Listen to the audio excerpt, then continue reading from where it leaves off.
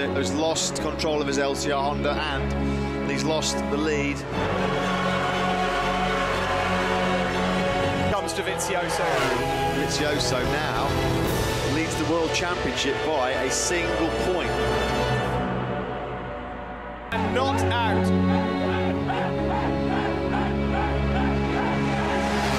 Maverick Vinales takes second place. Andrea Iannone over the line for his first podium. Marc Marquez, simply magical.